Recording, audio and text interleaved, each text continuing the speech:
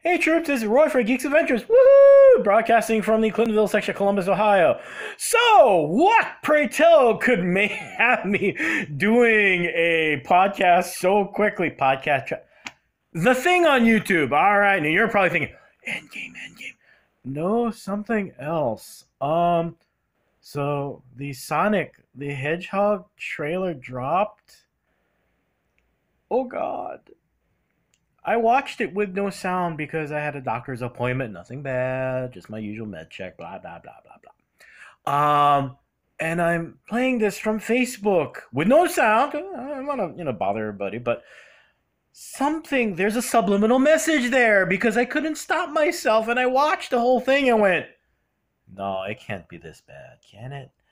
I just watched it with sound. My my, brain is hurting.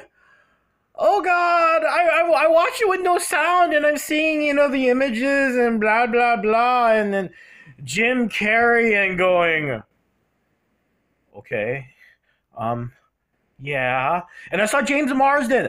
I love James Marsden doing comedic work. I think he's hysterical. Um, so funny didn't help. Although the last bit with him and Sonic in the bag and everyone going, is that your kid in the bag? And blah, blah, that was funny. Um, intentionally funny.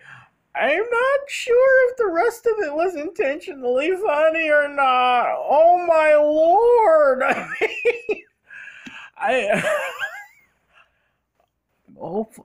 and I think a lot of folks my age and older are watching this going, and and and I, I thought there wouldn't be a movie worse than Super Mario Brothers, and there's a lot of you going, Super Mario, yes. In 1992, 93, 94, they made a movie, Super Mario Brothers, with John Hoskins in it. Um, I, uh, oh, no.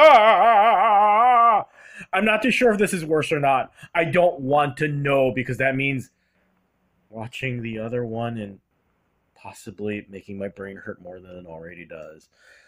So I guess November is things coming out.